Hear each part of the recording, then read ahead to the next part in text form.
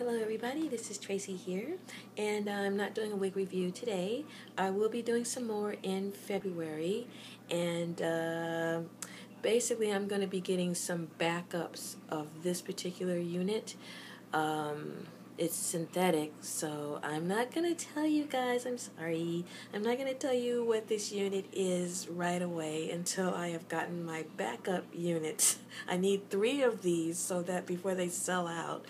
And uh, after that, after I do that, then I'll tell you guys what it is. But it's already on my channel, so I'm sure if you search for it, you'll run into it. It's a Vanessa collection, and that's all I'm going to say because I don't want it to get sold out before I have a chance to get um, some backups of it. But I do believe that if there is an argument for how blonde hair looks on black women, this unit cannot look bad on any black woman.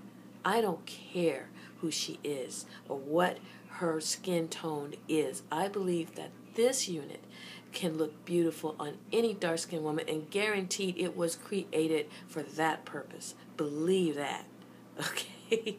but anyway, also I want to tell you guys uh, go out and see Bradley Cooper's movie um, American Sniper. I just saw it. It's excellent. Go out and see Unbroken. I just saw it. It was excellent. Go out and see Selma absolutely top of the notch film. We want to see that go someplace. Okay, folks, you know, you out there know what I mean. That movie needs all the attention it can get because it just, it's everything. Okay, it is everything. Go out and see it, people. Please. The Academy may be trying to ignore it, but if we all get together and we say that it's a great film, maybe they will change their minds. Anything can happen okay? Because so far they are not giving it the attention that it deserves. They're giving it the Oscar nod for, uh, I think, maybe Best Picture, I'm not sure, but they're not giving attention to the players in the film, okay? And that is totally not cool.